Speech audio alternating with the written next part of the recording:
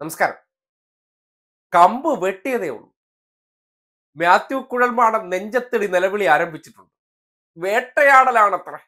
സർക്കാർ ഇപ്പോ തന്നെ തെരഞ്ഞു പിടിച്ച് വേട്ടയാടുന്നു. കാര്യം ഞാൻ ചില ആരോപണങ്ങൾ ഉന്നയിച്ചതിന്റെ അടിസ്ഥാനത്തിലാണ്. ഒന്ന് കേട്ടെ.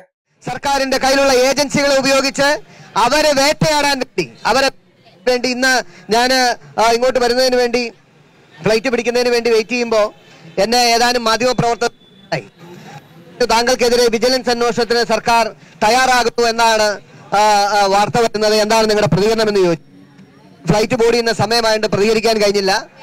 കേരളത്തിന്റെ പൊതുസമൂഹം ഒരു കാര്യം പറയാൻ ആഗ്രഹിക്കുകയാണ്.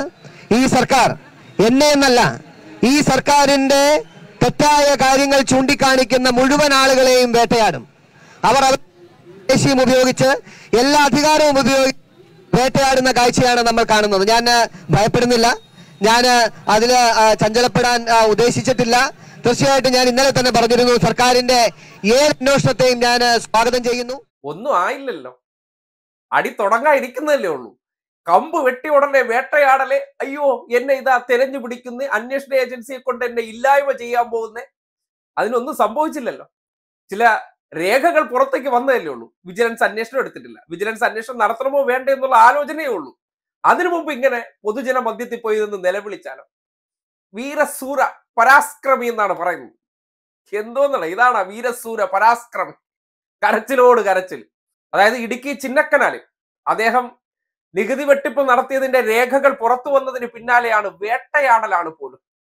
ഇന്നലെ ഫേസ്ബുക്കിൽ ഒരു കുറിപ്പിട്ടിരുന്നു. ഇന്നിപ്പോ വൈകിട്ട് ഇതിനെ സംബന്ധിച്ച് തുറന്നടിക്കുമെന്നാണ് പറഞ്ഞിട്ടുള്ളത്. കോൺഗ്രസ്സുകാരെല്ലാം വലിയ പ്രതീക്ഷയോട് കൂടി ഇരിക്കുകയാണ്. എന്തോന്ന് തുറന്നടിക്കേ അതിന്റെ രേഖകൾ പുറത്തു വന്നതിൽ പഠിച്ചിട്ട് പറയാം. അതായത് ഭൂമി അതായത് ഭൂമി മേടിച്ചത് പഠിച്ചിട്ടല്ല. ഈ നികുതി വെട്ടിപ്പും നടത്തി രജിസ്ട്രാറെ സ്വാധീനിച്ച് അവിടെ ഉണ്ടായിരുന്ന കെട്ടിടം മറച്ചു വെച്ച് പുതിയ ബിൽഡിങ്ങിന് വേണ്ടി അപേക്ഷ കൊടുത്തിരിക്കുന്നു. തരികിട മുഴുവൻ ഇറക്കിയതിന്റെ രേഖകൾ ഓരോന്നായിട്ട് പുറത്തു വന്നപ്പോൾ പഠിക്കാൻ പോയിരിക്കുകയാണ് ആശൻ. പഠിച്ചു കഴിഞ്ഞിട്ടുണ്ട്. പഠിച്ചു കഴിഞ്ഞിട്ടുണ്ട് വൈകിട്ട് ഇതിനെ സംബന്ധിച്ച് വിശദീകരിക്കുമെന്നാണ് പറയുന്നത്. വിശദീകരണം വേറെ ഒന്നുമല്ല. വേട്ടയാണ് മുന്നോട്ട് വെച്ച കാൽ ഞാൻ പിന്നോട്ടെടുക്കില്ല. ഇനി നെഞ്ചത്തടിയും നിലവിളിയുമായിട്ട് വരും ദിവസങ്ങളിൽ പുതിയ പുതിയ കഥകൾ കേൾക്കാം. എന്തായാലും വലിയ വീരശൂര പരാക്രമി എന്നുള്ള നിലയ്ക്കൊക്കെ ഇത്രയും ദിവസം ഗീർവാണങ്ങൾ നടത്തിക്കൊണ്ടു നടന്ന വ്യക്തിയാണ്. ഒരു ചെറിയ ആരോപണം അത് രേഖാമൂലം എതിർക്കാൻ പറ്റില്ല.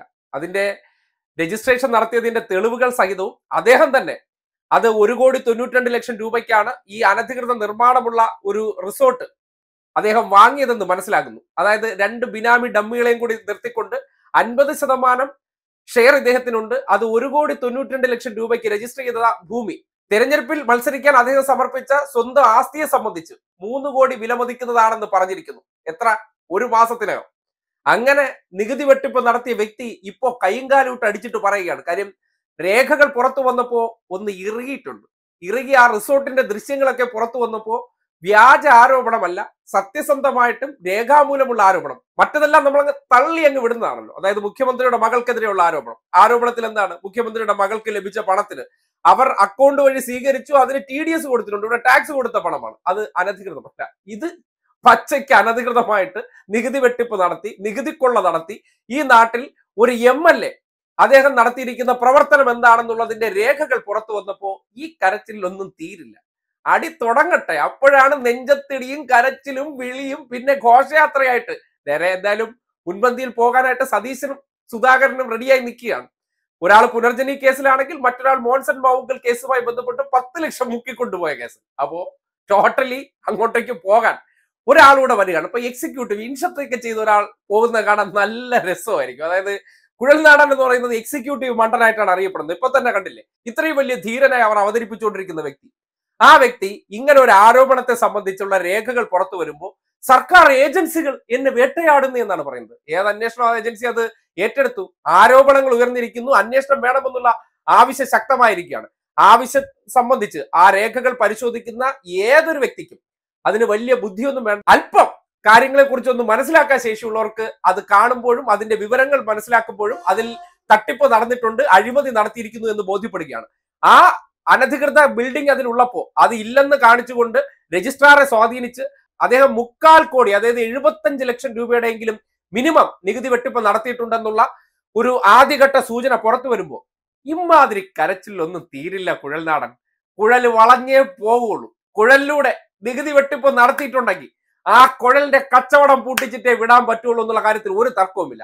ബാക്കിയുള്ളവർക്കെതിരെയെല്ലാം സംഘപരിവാറിന്റെ കേന്ദ്രത്തിൽ നിന്ന് കൊട്ടേഷൻ എടുത്തുകൊണ്ട് വന്ന് ചില ആരോപണങ്ങളൊക്കെ ഉന്നയിച്ചിട്ട് ഞാൻ ഇപ്പോ ഹീറോ എം എൽ എ എന്നുള്ള രീതിയിൽ ഞെളിഞ്ഞു നടക്കുകയാണ്. കാര്യം ഏതെങ്കിലും ഒരു കേസുമായി ബന്ധപ്പെട്ട് നോക്കുകയാണെങ്കിൽ ഇദ്ദേഹത്തിന്റെ പെർഫോമൻസ് ഈ നാട് കണ്ടിട്ടില്ല. പക്ഷേ അഭിഭാഷകൻ ഈ രീതിയിലുള്ള തള്ളക്ക തള്ളിക്കൊണ്ട് നടക്കുന്ന വ്യക്തി ഒടുവിൽ പെടുന്ന സാഹചര്യത്തിലേക്ക് എത്തിയപ്പോ ഇങ്ങനെ വേട്ടയാടലും വിതുമ്പൽ കഥകളൊന്നും കേൾക്കണ്ട. ആ ഭൂമി സംബന്ധിച്ച് പുറത്തു വന്ന വിവരങ്ങൾ ശരിയാണോ തെറ്റാണോ? ആ ഭൂമി നിങ്ങളുടെ പേരിൽ തന്നെ രജിസ്റ്റർ ചെയ്ത ഭൂമിയാണോ? എന്തുകൊണ്ട് ആറ് കോടി രൂപയിൽ പരം വിപണി മൂല്യമുള്ള ആ റിസോർട്ട് എന്തിന് ഒരു കോടി തൊണ്ണൂറ്റിരണ്ട് ലക്ഷം രൂപയ്ക്ക് നിങ്ങൾ രജിസ്റ്റർ ചെയ്തു? അതിലൂടെ എന്തുകൊണ്ട് ഗവൺമെന്റിന്റെ അല്ലെങ്കിൽ സർക്കാർ ഖജനാവിലേക്ക് വരേണ്ടിയിരുന്ന എഴുപത്തഞ്ച് ലക്ഷം രൂപ വെട്ടിച്ചു? ചോദ്യങ്ങൾ സിമ്പിളാണ് ആ അടി തുടങ്ങണ സന്ദർഭത്തിന് മുന്നോടിയായിട്ട് ഈ കരച്ചിലും കരഞ്ഞ് സഹതാപം സൃഷ്ടിക്കുക. അതാണ് നമ്മുടെ ഒരു പൊതു ട്രെൻഡ് എന്ന് പറഞ്ഞാൽ. ആരോപണം ഉന്നയിക്കുന്നവരെ മുഴുവൻ ഈ സർക്കാർ വേട്ടയാടുന്നത്രേ. കുറെ വേട്ടയാടും. തോന്നിവാസവും കാട്ടിയിട്ട് ഈ നാട്ടിലിറങ്ങി ബാക്കിയുള്ളവരെ കുറിച്ച് അധിക്ഷേപം പറഞ്ഞ് അവരെ കൂടി സമൂഹത്തിന്റെ മുന്നിൽ അപമാനിക്കാൻ വേണ്ടി ശ്രമിക്കുന്ന വ്യക്തി. അതായത് ഏറ്റവും കൂടുതൽ ഫ്രോഡ് വേലത്തരങ്ങളെല്ലാം കാട്ടി വെച്ചിരിക്കുകയാണ്. എന്നിട്ട് മാന്യനായിട്ട് ഇൻഷർട്ടൻ ചെയ്ത് നടക്കുകയാണ്. ഈ പഠിച്ചു വന്ന കാലഘട്ടത്തിൽ തന്നെ തുണ്ടുവെപ്പും അല്ലെങ്കിൽ കൃത്രിമത്വവും കാട്ടിയിരിക്കുന്ന ഒരു വ്യക്തി ഇന്നിപ്പോ കണ്ണാടിയും വെച്ച് കുറച്ച് പണം ഉണ്ടെന്നുള്ള രീതി നടക്കുമ്പോൾ ഈ സമൂഹത്തിൽ മാന്യനായി മാറും. അങ്ങനെയാണെങ്കിൽ സ്വപ്ന സുരേഷ് ഒക്കെ ഇവിടുത്തെ ഏറ്റവും വലിയ മഹാനായി മാറില്ലേ? സ്വപ്ന സുരേഷ് ചെയ്തിരിക്കുന്ന പ്രവർത്തനം എന്താ? നികുതി വെട്ടിച്ച് സ്വർണം കടത്തി.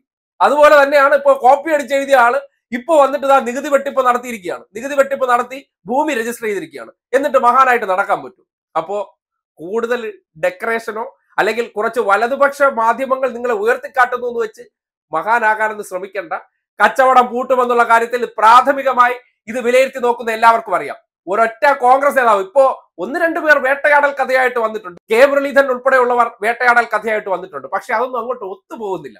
ഒത്തുപോകാത്ത കാര്യം എന്ന് പറഞ്ഞാൽ ഇതിന്റെ രേഖകൾ പുറത്തു വന്നപ്പോൾ പല മാധ്യമങ്ങളും നിർബന്ധിതരാകുകയാണ്. ഇങ്ങനെ ഒരു വാർത്ത റിപ്പോർട്ട് ചെയ്യാതിരിക്കാൻ ഒരു സാഹചര്യവും ഇല്ല. അതുകൊണ്ട് റിപ്പോർട്ട് ചെയ്യേണ്ട ഗതികേടിലേക്ക് അവരെത്തി ഗതികേടിലേക്ക് എത്തിയപ്പോഴാണ് ആശാന്റെ ഈ കള്ളി വെളിച്ചത്താകുന്ന ഒരു സാഹചര്യത്തിലേക്ക് കാര്യങ്ങൾ എത്തിയിരിക്കുന്നത്. അപ്പോ ഇനി സ്വാഭാവികമായിട്ട് സഹതാപ് ഇറക്കുക സെന്റിമെന്റ്സ് അടിക്കുക നേരത്തെ പോലെ അടിച്ച ഡയലോഗുകൾ ഞാൻ ഒരടി പിന്നോട്ട് വെക്കില്ല എന്നൊക്കെ പറഞ്ഞാൽ സമൂഹം വിശ്വസിക്കുമെന്നായിരിക്കും കരുതുന്നത്. ചില യൂത്ത് കോൺഗ്രസ്സുകാരന്മാരും ചില കമ്മ്യൂണിസ്റ്റ് വിരോധികളും പിണറായി വിജയന്റെ ശത്രുവായി കാണുന്ന കുറച്ച് ആൾക്കാരൊഴികെ വേറെ ഒരു പട്ടിക്കുഞ്ഞും ഈ പറയുന്ന കുഴലിന്റെ പിന്നിൽ കാണില്ല. അതുകൊണ്ട് കുഴൽ വരും ദിവസങ്ങളിൽ അദ്ദേഹത്തിന് അഗ്നിശുദ്ധി വരുത്തേണ്ട ഉത്തരവാദിത്തമുണ്ട്. ഇല്ലെങ്കിൽ ഈ പണി നിർത്തേണ്ടി വരുമെന്നുള്ള കാര്യത്തിൽ ഒരു തർക്കവുമില്ല തന്നെ.